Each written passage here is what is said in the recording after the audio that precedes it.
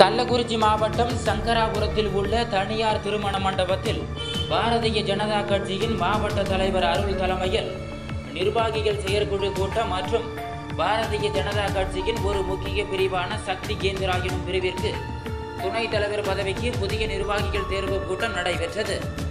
இந்த கூட்டத்தில் சங்கராபுரம் சுற்றுவட்டார பகுதியிலிருந்து சுமார் ஐநூறுக்கும் மேற்பட்ட பாரதிய ஜனதா கட்சியை சேர்ந்த நிர்வாகிகள் கூட்டத்தில் கலந்து கொண்டனர். அப்பொழுது அவர்களுடைய புதிய நிர்வாகிகள் நியமனம் செய்வது தொடர்பாக நடைபெற்ற வாக்குவாதத்தில் பாரதிய ஜனதா கட்சியினருக்குள்ளே முதலில் ஒருவருக்கொருவர் வாக்குவாதத்தில் ஈடுபட்டனர். பின்பு கைகலப்பாக மாறி ஒருவருக்கொருவர் சட்டை பிடித்துக் கொண்டு அருகில் இருந்த நாற்காலியை எடுத்து சரமாரியாக தாக்கிக் கொண்டனர்.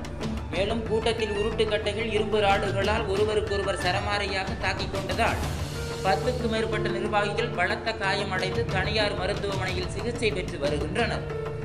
தகவல் அறிந்து சம்பவத்திற்கு வந்த சங்கராபுரம் காவல்துறையினர் இரு தரப்பினரிடையே சமாதான பேச்சுவார்த்தை செய்து வைத்தனர். கூட்டத்தில் பொறுப்பாளர்கள் அறிவிப்பது தொடர்பாக மாவட்டம் எழுப்பிய பிரச்சனையில் மோதல் என தகவல் தெரிய வந்துள்ளது.